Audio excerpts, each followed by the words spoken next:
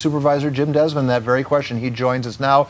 We were talking about a sea change, sir, as it relates to the County Board of Supervisors. But before we make that statement, are there enough uncounted votes to change the outcome of that election in District 3? Um, you know, I, I doubt it. Um, you know, maybe there might be an outside possibility, but it doesn't doesn't look like there's going to be a change. I, mean, I think there's still about 370,000 ballots out there, but the margins are pretty uh, great. Uh, I think in both uh, District One and District Three, that I, I don't. Unfortunately, I don't think it's going to change much.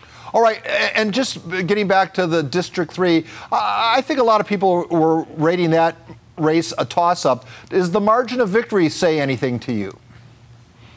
Well, yeah, it, it's, you know, there's a more of a progressive uh, uh, group of people now that are that are voting, going, going and out and voting, and so we got a, a new person in District Three. I thought it was going to be a lot closer than it was, but um, you know, it's uh, somebody else that I'm going to be working with. Uh, looking forward to seeing what she brings to the table, and and uh, but it is it is uh, it was a greater uh, loss than, than, anybody I think anticipated. Yeah, you know, for the longest time, the board of uh, county board of supervisors had sort of a unity of purpose, and now you're gonna it's gonna go from that unity to, you know, from a consensus view to a, a debate view. Does it make your job harder now?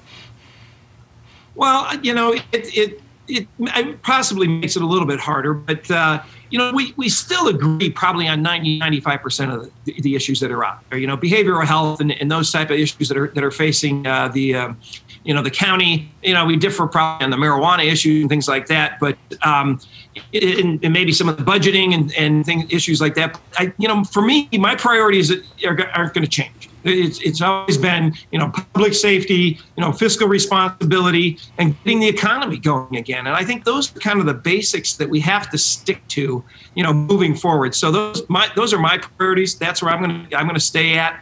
And I think you know we all have to sort of come along in that direction. I mean, this is the first time we used reserves in you know for, as far as anybody can remember, and we used you know, several hundred several hundred million in reserves. And so we're you know we're going to have to build that back up. So I think there's there's going to have to be some some back to basics uh, going on, and you know we're going to be hearing new ideas from. We got uh, three new uh, county board of supervisors coming on here.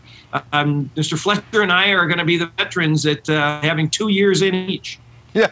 But you, you talk about fiscal responsibility and building back up the reserves. You're now going to be uh, sitting in a boardroom where people are going to want to maybe even tap into those reserves more and spend more money. Isn't that going to be a source of contention? Uh, potentially it will be because I'm going to be, you know, I, even when I first ran, I was I was a person that said, hey, we need to keep our reserves. We have to have it. And, you know, people would say, well, we, we should spend them. But here we have coronavirus happened.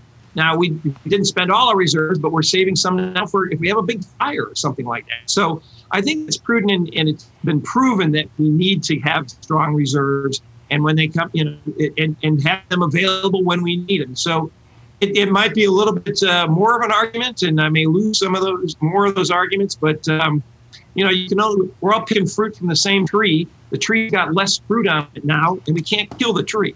So we, we, we got to keep, uh, you know, I, I think with those kind of basics uh, moving forward. Well, sir, it's it's rare that you and I have a conversation of this length without COVID nineteen and and uh, lockdowns and shutdowns being part of the conversation. So the, uh, it looks like we're headed back to the purple tier. Do you, uh, can you confirm that consensus? Well, I can't until the governor speaks uh, today at noon. We, uh, I haven't seen the, you know, the adjustments that they made. Our numbers alone, we're in purple, but we're, we have not seen the adjustments, and, and those are going to come out at noon today. I, I, have a feeling we're going to probably stay in purple, but I, I can't really tell you for sure. So uh, the mayor has, seems seems to be in your camp uh, uh in an increasingly louder voice as far as wanting to open things up more rapidly. Does that does the mayor's uh, voice add uh, any help to your cause? Hallelujah. We'll take all the voices we can. I think we can do this safely. I think we've proven we can do it safely.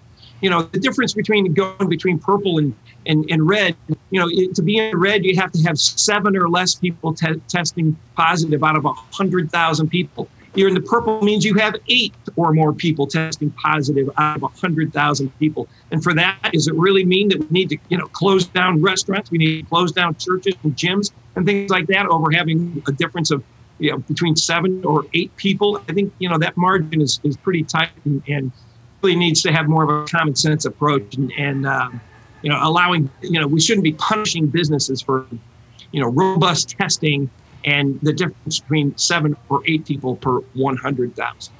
On that note, sir, we'll call it a conversation. Uh, let you get, get back to work, and we'll chat again pretty darn soon. All right, Paul. Thanks. Jim Desmond, everybody, apologize for.